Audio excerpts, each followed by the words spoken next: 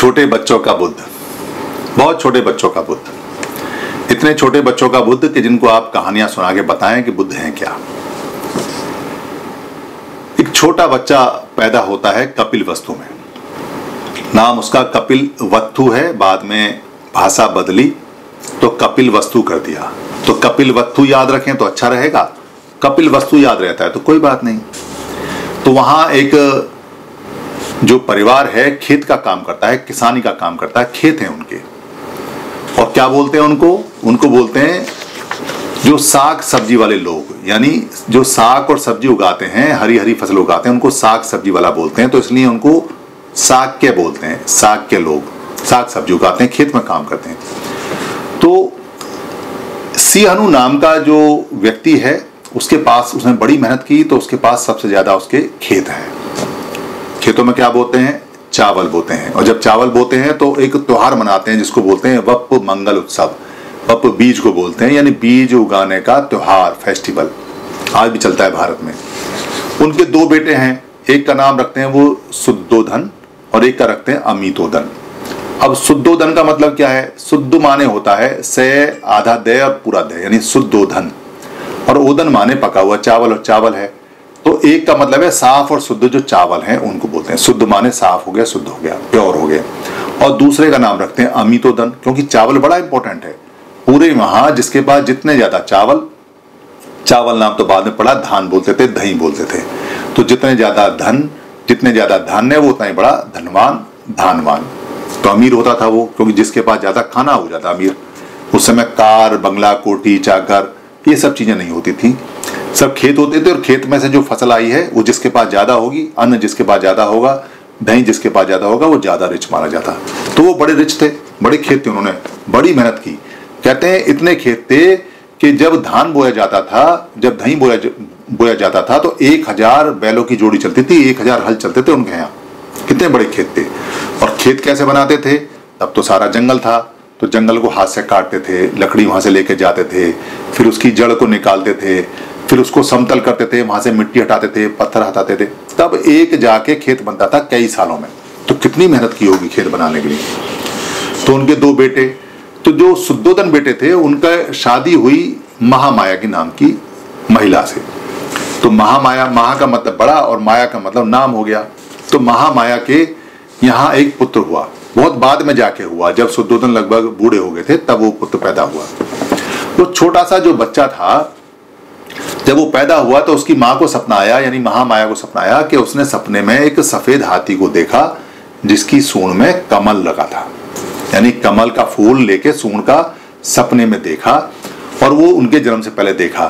तो हाथी सफ़ेद देखा, बड़ा अच्छा लगा उनको। और जो कमल का फूल देखा तो बड़ा अच्छा लगा। तो जब वो पैदा हुआ तो उनको एक पदम नाम भी दिया, यानी कुसुम्बी और पदम भी बोलते थे, यानी कि ये कमल के फूल हैं, कमल नाम हो गया। कमल जितना भी आप उनके चित्रों में अगर कहीं देखेंगे, या किसी भी चित्र में आप देखोगे, जो पूरी दुनिया में चित्र हैं तो उसमें कमल के फूल मिलेंगे आपको। कहीं कोई चीज़ रखी होगी तो वो कमल के फूल का आसन होगा। जहाँ वो बैठे हुए रहते हैं, उसके नीचे आप देखोगे ध्यान से तो कमल के फूल का नीचे पूरा आसन होता है। वो फूल पे बैठे रहते हैं, कमल के पे। तो वो जब पैदा हुए तो वो जंगल में पैदा हुए। घर पे नहीं हुए। आजकल तो हॉस्पिटल में पैदा होते हैं, तब हॉस्पिटल नहीं थे। तब तो घरों में पैदा होते थे या रास्ते में पैदा होते थे? तो वहाँ कमल का एक तालाब था। कमल के तालाब बहुत होते थे। तो कहते हैं कि उस कमल के तालाब में सात बड़े बड़े कमल के फूल खिले हुए थे। तो वो सात कमल के फूल भी उन्हें बड़े अच्छे लगे। तो जहाँ सात कमल के फूल दिखाई दें, वो भी भगवान बुद्ध के जन्म से माने जाते हैं कि यहाँ देखो भगवान बुद्ध हैं। और भगवान बुद्ध बड़े स्वस्थ पैदा हुए क्योंकि उस समय तो पॉल्यूशन होता नहीं था। सारा खाना बहुत बढ़िया होता था और लोग बड़े तगड़े होते थे क्योंकि अपना काम करते थे। कार, बंगला, चाकर, कोठी और स्कूटर तो होते नहीं थे, इसलिए सब लोग अपना काम करते थे।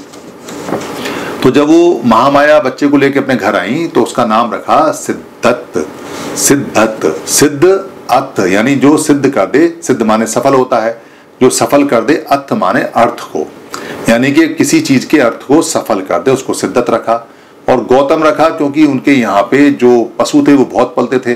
जो दूध बहुत आता था तो वो गौतम, जो गौ है, वो पशुओं को भी बोला जाता है तो वो उनके गौतम करके सारे बोला जाता था कि यहाँ पशु ज़्यादा है तो गौतम हो गए।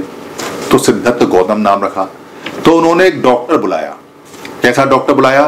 पीडियट्रिशियन डॉक्टर बुलाया, जिसको आप पीडियट्रिशियन बोलते हैं या पीडियट्रिक बोलते हैं, यानी बच्चों का डॉक्टर। क्या नाम था उसका? असित नाम था उसका। असित बोलते हैं, सेत माने होता है सफ़ेद और असेत माने होता है काला। यानी वो असित जो थे, असित जो डॉक्टर आए, वो काले रंग के थे। काले रंग के डॉक्टर भारत के ही होते हैं। आज भी आपने बहुत सारे लोग देखे होंगे जो काले डॉक्टर हैं। उस समय तो बहुत थे, बड़े ज्ञानी थे काले लोग। तो वो आए तो उन्होंने, क्योंकि वो बच्चे के सबको चेक करते थे घर घर जाके तो उन्होंने उस बच्चे को देखा, चेक किया। दो उनके साथ जूनियर डॉक्टर और भी थे। तो उन्होंने देखा कि बच्चा तो ऐसा उन्होंने कभी देखा ही नहीं। बत्तीस तरह के उस समय चेक हुआ करते थे। बत्तीस चेक, यानी शरीर के बत्तीस जो करेक्टरिस्टिक्स हैं, जो लक्षण है, उनको चेक करना है, उनको देखना है। जो 32 पॉइंट्स हैं, उनको चेक करना होता है। शरीर की स्किन कैसी है इसकी? आँखें कैसी हैं? इसकी नाक कैसी है? सांस कैसा ले रहा है? उंगलियाँ कैसी हैं? पैर कैसे हैं? इसकी कमर कैसी है? इसका वज़न कितना है? ये हंस रहा है या ये रो रहा है? इसके बाल कैसे हैं? इसके जो मसूड़े हैं, वो कैसे हैं? दांत इसके कैसे आएँगे? और इसका पेट गुदगुदा कितना है? इस पे चर्बी कितनी है? ये लैटिन कैसी कर रहा है? ये पेशाब कैसा कर रहा है? सांस लेने में क्या दिक्कत है? रो तो नहीं रहा है? हंस कितना रहा है? वो सारी बातें चेक करने के बाद में उन्होंने कहा परफेक्ट यानी कि ऐसा बच्चा उन्होंने नहीं देखा जो 32 के 32 के बिंदुओं पे बिल्कुल परफेक्ट सौ पे से सौ इसको मार्क्स दिए जाते हैं। ये बिल्कुल स्वस्थ बच्चा है। और ऐसा स्वस्थ बच्चा जो होगा, उसमें कुछ ना कुछ अच्छा करने का है क्योंकि उसके अंदर हाई एनर्जी होती है। तो हाई एनर्जी वाला बच्चा माना गया और ये कहा कि ये हाई एनर्जी अगर ये फ़िज़िकल काम में लगाएगा, यानी कि ये शारीरिक काम करेगा फ़िज़िकल काम करेगा तो ये बहुत कुछ करेगा। हो सकता है कि ये कहीं राजकाज में, राजकाजाओं का जो राजा है वहाँ तक भी पहुँचे और कहीं राजकाज में बड़ा राजा बने, क्योंकि इसमें क्षमता इतनी है। और कहीं अगर ये सेल्फ स्टडी में लगाएगा सेल्फ स्टडी का मतलब है अत्यन यानी खुद की स्टडी खुद की स्टडी क्या होती है? सेल्फ स्टडी का मतलब ऐसा नहीं है कि किताब लेके आप कमरे में खुद पढ़ेंगे, आजकल तो सेल्फ स्टडी उसको बोलते हैं। उस समय सेल्फ स्टडी का मतलब है कि आप अपने शरीर में कैसे क्या घट रहा है? यानी कि आपको सर दर्द कैसा होता है?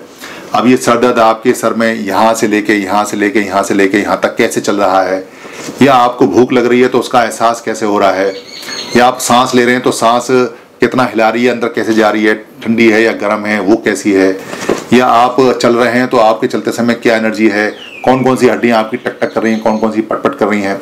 या आप बोल रहे हैं तो बोलने में आवाज़ कैसी निकल रही है? या आप जब देख रहे हैं तो आपकी निगाह कैसे काम कर रही है? इसको खुद की स्टडी बोलते थे, सेल्फ स्टडी। अत अध्ययन बोलते थे। बाद में इसको अत अध्ययन भी बोला, या अध्ययन भी बोला गया? अध्ययन भी बोला गया। तो ये जो अत अध्ययन है, यानी सेल्फ स्टडी है, अगर उसमें जा, जाएगा तो भी एक्सट्रीम पर जाएगा, ऊपर जाएगा। ऐसा बच्चा बहुत कम होता है जो स्वस्थ हो, और स्वस्थ बच्चे सारे सारे इसलिए आप सबसे पहले तो स्वस्थ रहिए। स्वस्थ रहना सबसे ज़रूरी है। आप अगर स्वस्थ रहेंगे तो आपका सारा शरीर अच्छा रहेगा तो आप कोई भी काम करेंगे तो अच्छा करेंगे। तो इस तरह से उन्होंने वो सारे लक्षण वहाँ बताए। बताने के बाद में उनको बड़ा अफसोस भी हुआ कि ये बच्चा बड़े होकर कुछ अच्छा बनेगा और मैं तो बूढ़ा हो गया, मैं देख नहीं पाऊँगा, मगर कोई बात नहीं। उनका जीवन इतने सारे बच्चों को देखते देखते गया। पहली बार ऐसा बच्चा आया तो वो खुशी के मारे उनके आँसू निकल आए और वो वहाँ रोएगी रोए तो उन्होंने पूछा सुदोदन ने और अमितोदन ने और महामाया ने कि वे क्या हुआ, क्या नहीं हुआ तो उन्होंने बताया कि बच्चा बत्तीस लक्षणों से परिपूर्ण है और ये कुछ अच्छा करेगा और मैं देख नहीं पाऊँगा। मैं इसको स्टडी करता, मैं इसको देखता कि ये कैसे कैसे काम करेगा। पहली बार मुझे ऐसा बच्चा मिला है। चलो खैर, कोई बात नहीं, जो जो भी है, सो है। अब देख लिया मैंने, ये भी खुशी है। तो वो देख के वहाँ से चले जाते हैं। ये उनके पैदा होने की घटना रही है और अगले एपिसोड में मैं आपको और बताऊँगा कि बचपन की क्या क्या उनकी घटनाएँ कैसी कैसी रही हैं। बुद्ध बिल्कुल साधारण व्यक्ति थे। जैसे आप बच्चे हो, वैसे ही वो बच्चे थे। वो भी खेतिए थे, किसान थे। आप भी कहीं ना कहीं जो आपके फादर काम करते हैं, वहीं रहे हैं। वो यहीं भारत के थे, आप भी यहीं भारत के हैं। बिल्कुल सिंपल आप ही की तरह थे। बस थोड़े से मेहनती थे। मेहनत करता है आदमी तो आगे तक पहुँच जाता है। धन्यवाद। आप सभी से ये निवेदन है कि अगर आपको ये वीडियो अच्छी लगती है या बाकी वीडियो अच्छी लगी हैं, और आपको लगता है कि धर्म की वीडियो किसी को और मिलनी चाहिए, या किसी को गिफ्ट में भेजनी चाहिए, या किसी भाषा में कन्वर्ट करके आगे बढ़ानी चाहिए, या प्रिंट में, किताब में छापनी चाहिए, या इसकी जो ऑडियो है उसे निकाल के भेजना चाहिए, या इसका किसी पार्ट को इस्तेमाल करना चाहिए तो आपको लिबर्टी है, आपको छूट है। ये सभी कॉपीराइट फ्री हैं। आप अपने फेसबुक पे, अपने पेज पे, अपने ट्विटर पे, या अपने हैंडल पे, या लिंक को कहीं भी शेयर कर सकते हैं, कहीं भी चला सकते हैं। आप यूट्यूब पे भी चला सकते हैं, अपने नाम से चला सकते हैं। इसके लिए इजाज़त लेने की या परमिशन ले, लेने की बिल्कुल भी ज़रूरत नहीं है। आप इसको अपना मान के चलाएँ, क्योंकि धम्म सबका है। हम जो बताते हैं, वो भगवान बुद्ध का है या महापुरुषों का है। उन्हीं की बात को सरल भाषा में बताते हैं। हमारा सिर्फ़ इतना राइट है इस पर कि हम इसको लोड कर देते हैं। बाकी सारी ये पूंजी आपकी है। धन्यवाद।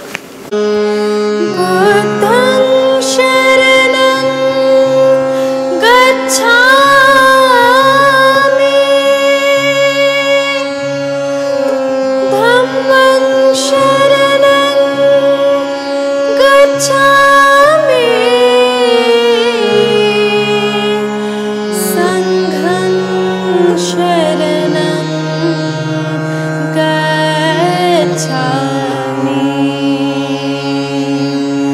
बुद्धं शरणं